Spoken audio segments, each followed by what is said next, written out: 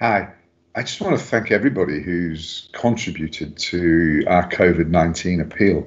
It's been phenomenal the number of people who've come forward and the contributions they've made, and we're deeply grateful for it. When we decided to launch the scheme, it was all about how can people contribute so that we can upscale everything we do in terms of production of PPE, in production of hand sanitizer, and in making sure that enabling our students get onto the front line.